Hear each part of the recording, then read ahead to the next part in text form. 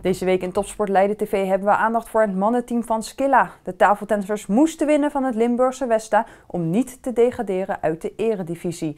En de basketballers van ZZ Leiden speelden de halve finale tegen Landstede Zwolle. Een best of seven reeks en de eerste drie wedstrijden werden gewonnen, dus het stond 3-0. En daarom konden de Leidenaren het dinsdagavond afmaken in de 5 meihal. Wedstrijd 4 in de halve finale van de play-offs. Staat op matchpoint, maar niet nadat deze turnover van de Jong door Dorsey Walker wordt benut. Zwolle dus twee keer verlies in eigen huis, waar met name de wedstrijd van afgelopen zaterdag zeer deed. Zeer omdat Leiden gewoon 20 punten achter stond en het begin van het vierde kwart zelfs 15 eh, punten nog. Leiden won die wedstrijd en staat daardoor dus op matchpoint. Maar het is Zwolle die in het eerste kwart gewoon het spel dicteert. Opnieuw die Dorsey Walker dus met een drietje. Ploegen zijn absoluut aan elkaar gewaagd.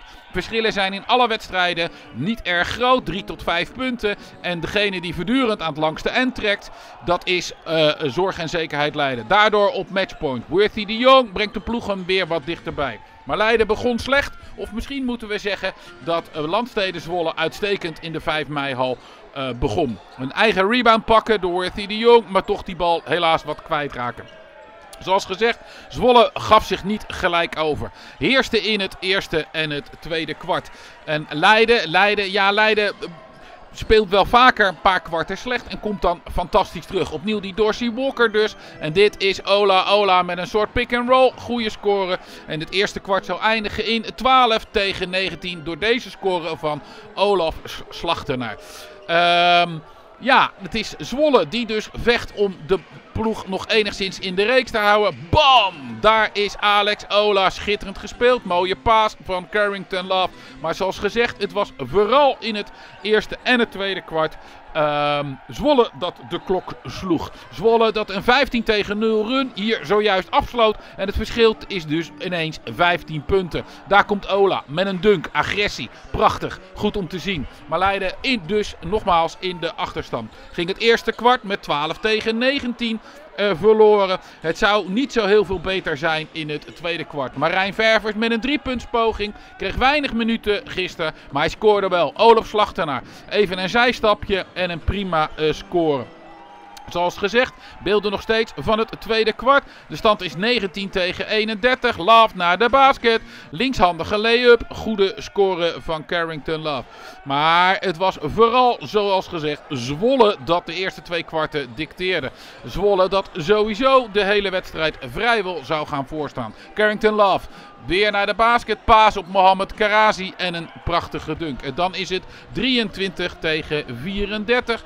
Met hier een score van de nummer 12, Ralf de Pachter. En hier de ruststand 23 tegen 38. 11 tegen 19 dus in het tweede kwart opnieuw voor Zwolle. Beelden uit het derde kwart. Een derde kwart waarin Leiden liet zien dat ze zich niet gewonnen zou geven. Leiden vocht voor elke Bal voor elke centimeter. Carrington Love onder zijn leiding dan weer terug in de race gaan komen. Het is 27 tegen 38. Leiden is met een inhaalrace bezig. Een inhaalrace die zou beginnen bij de stand 29 tegen 44. Dat komt er zo aan. We zijn er nog niet helemaal bij. Dit is Daalman die hier gaat scoren. Daalman die een prachtige paas van Olaf Slachtenaar afmaakt. Carrington Love. Carrington Love op Clayton Vetti. En het is 29 tegen 42. Daalman dan onder de basket prima benutting van het bord. Dit is het moment waarop Leiden gas zou gaan geven. Leiden zou gas geven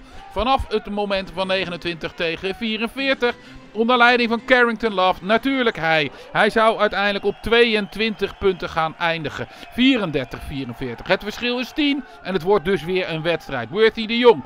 Draaien, keren en daar met een driepunter is het Clayton Vetti die die het verschil naar 7 terugbrengt. Dan komt de Jong, bal onder zijn oksels mee. Mooie score, publiek gaat staan. 39-44. Beetje gerommel. Maar het is uh, vooral Leiden die uh, op dat moment heerst. Heerst ook onder de rebounds van deze Ola. De 39-42 en met dit drietje zou Leiden zijn run van 13 tegen 0 afsluiten. Was Zwolle dan gewonnen? Gingen de kopjes bij Zwolle hangen? Nee, geen zins. Deze Jordan Gregory scoort. Daalman scoort. En daar ging Zwolle weer ook. Dus met andere woorden, bij het begin van het vierde kwartstand is 29, pardon, 42 tegen 49. Leiden nog altijd uh. Hier een drietje van Clayton Vetti. Die gaat mis. Daar wordt iemand geblokt. En dan is het gewoon een sprongbal. Prachtige run, prachtige drive van Clayton Vetti naar de basket. 44-52. De Jong met een tweetje. Dan is het verschil 6. Leiden is nog steeds niet verslagen. Zwolle heeft nog steeds niet gewonnen. Het verschil is weer 8. Hier wordt een propoogd om een rebound te pakken. Dat lukt niet. Geen fout gegeven. Carrington Love met een driepuntspoging die misgaat. Sergio de Randami dan. Ja, de eerste van de negen pogingen. Maar wel op een belangrijk moment. JC Walker weer. Hij kwam tot 21 punten. Ook een schitterende prestatie. Maar dan Vetti. Nee, mis. Wat is het stand? De stand is 51, 58, 7 verschil. Gaat het dan nog lukken? 3 minuten en 20 seconden te spelen. Hier gegrabbel om de bal.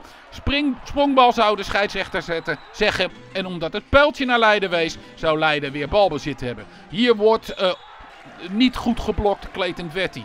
Dit is het begin. De laatste 1 minuut en 50. Driepuntspoging van Carrington Love. Het verschil is 3. Een Scoren van Zwolle. Het verschil is 5. Worthy de Jong met 3. Jawel, het verschil wordt weer teruggebracht met nog 26 seconden te spelen. En hier dus zelfs tot 60-60. Dan deze bal. Deze bal die alles zou zeggen. Eén keer op de ring, twee keer, derde keer en hij valt. En Leiden wint met 63 tegen 60. En gaat de finale spelen tegen Donar. Geweldig.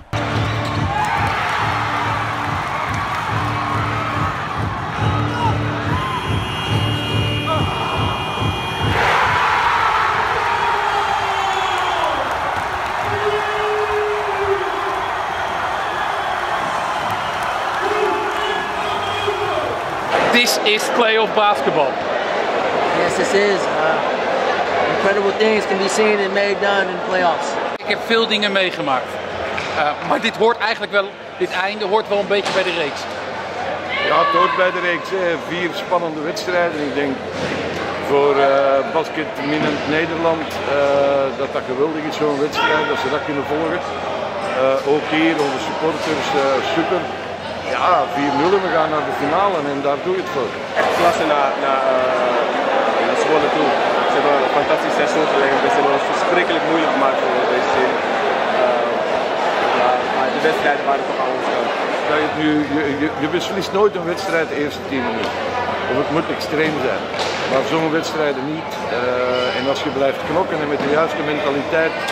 En dat vind ik geweldig aan deze groep, de, de, de vechtersmentaliteit. Want, uh, Playoffs is niet alleen X en O's uh, en tekeningsjes maken. Playoffs is uh, met het hart en duiken en alles ervoor doen. Niet opgeven en geloven in winst. En dat, hebben, dat heeft die groep gedaan. Ik ben er heel fier. We spelen echt fantastische playoffs. Um, maar ik moet, zeggen, dit is playoffs basketbal. Um, en, je kan je hoofd op geen enkel moment naar beneden brengen. Uh, dat is iets wat we elkaar elke keer hebben verteld. Dat er moet geen moment zijn dat er een enige doubt is twijfel is dat we deze wedstrijd gaan verliezen. Uh, en elke keer, elke wedstrijd geven we alles. We laten alles op de vloer. En uh, dit is het resultaat.